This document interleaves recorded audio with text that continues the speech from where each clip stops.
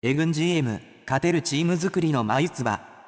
オフは大型補強を望めず、大谷は来季も投打で孤軍奮闘。ご視聴ありがとうございます。早速、今日も羽生選手のファンへ情報をご提供させていただきます。8年連続ポストシーズン進出を逃したエンゼルスのペリー・ミナシアン GM が日本時間7日、本拠地エンゼルスタジアムで今季を総括した来年のオフに FA 権を取得する大谷翔平28と年俸3000万ドル約43億5000万円で来季契約を結んだことに翔平のことが大好きだ。契約できて幸せ。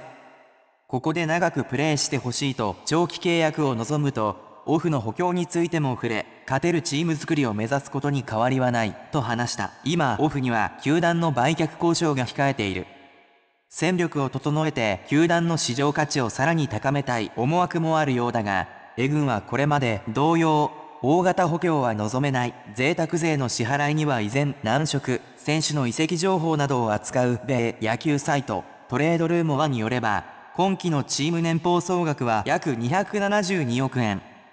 エ軍のモレの現オーナーは依然として贅沢税、来期の基準額は約333億8000万円の支払いに難色を示しており、来期も今期と同額程度に抑える方針だ。今オフ、FA 移籍が濃厚な先発ウアンロレンゼン約9億8000万円らのサラリーを差し引くと、現時点での年俸総額は約192億円。オフには今季定位置を確保したレンフィーフォ。ウォードら内外野の主力ら4人が年俸調停を控えており、来季の年俸総額はさらに上積みされるのは必至だ。今、オフの A 軍は先発。リリーフとも投手陣の整備が最重要課題となるものの、補強資金は心もとない。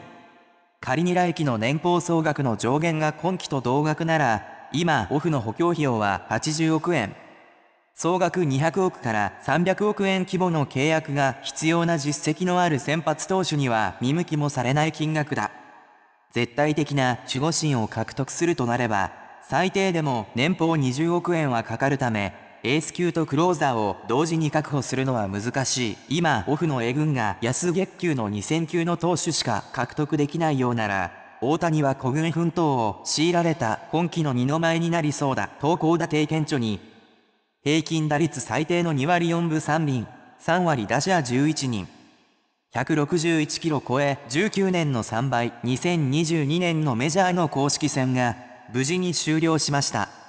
近年のメジャーは投稿打ての傾向が見られていましたが、今季はさらに顕著になりました。メジャー全体の平均打率は、1969年以降では最低の2割4分3厘。3割打者は3割2分6厘のジェフ・マクニール、メッツを筆頭に、わずか11人にとどまりました。3割1分6厘でアリーグで首位打者を獲得したルイス・アライス。ツインズは、68年のカール・ヤストレムスキー、レッドソックスの3割1厘以来、最も低い打率でのタイトルホルダーとなりました。飛ぶボールが使用されたと言われる2019年に過去最多の6776本を記録した本塁打数も公式球が改良された今季は5215本まで減少。投稿打てに拍車をかけました。その一方で、投手の体力、技術が劇的に向上したとも分析されています。米データ会社によると、フォーシームの平均球速は93.9マイル、約151.2キロまで上昇。100マイル、約161キロを超えたのが延べ3356球と、19年の1056球から大幅に増加しました。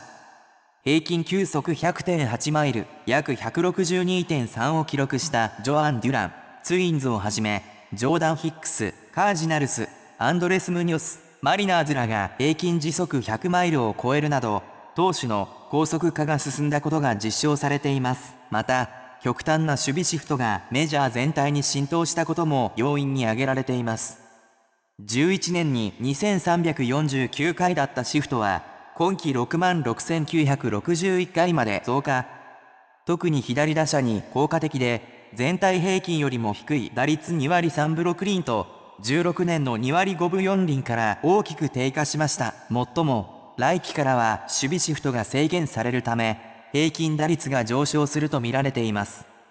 このほか、投球間の時間を規定するピッチクロックや大型ベースが導入されるなど、新たな試みがスタートします。過去数年、本塁打に依存する大味な野球が目立っていたメジャーは、来季以降、どう変化していくのでしょうか。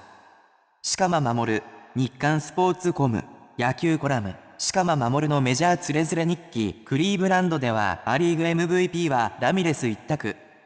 値千金の逆転ツーランでガーディアンズ WCS 戦勝、アリーグのワイルドカードシリーズ WCS 第1戦が行われ、第3シードのガーディアンズが第6シードのレイズに2の1の逆転勝ちした。6回に1点を先制されたが、その裏、主砲のホセ・ラミレス、30がサワンシェーン・マクラナハンのチェンジアップを捉え、宇宙間に逆転の2点本塁打。チェンジアップを待っていた前の打席はそれで打ち取られていたし、本当にまっすぐに見える。だからチェンジアップにタイミングを合わせて力が入りすぎないよう反対方向を狙った。うまくバットに当てられたと話した。最初の2打席は空振り三振、遠ゴロだったが、第3打席、ストライクのチェンジアップ、ボール球のカーブを見逃した後、3球目88.3マイル、約142キロの外角球を宇宙間に運んだ。プログレッシブフィールドに地元ファン3万人の MVP コールが鳴り響く。アリーグの MVP 論争は全米ではアーロン・ジャッジ対大谷翔平となっているが、クリーブランドのファンにとってはラミレス。29本塁打、1、26打点で、チームの絶対的なリーダーだ。ラミレスは試合後、そう認識してもらえて本当にいい気持ち。彼らは世界一のファン。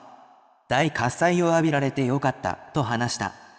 チームメイトのオースティン・ヘッジズ捕手は毎日3番サードでプレーして、走塁面でもクラブハウスにいてもうちのエネルギー。彼が MVP。みんなで彼の背中に乗っかっていると称えていた。ご視聴ありがとうございました。これからも一緒に応援していきましょうね。チャンネル登録をよろしくお願いいたします。よろしくお願い。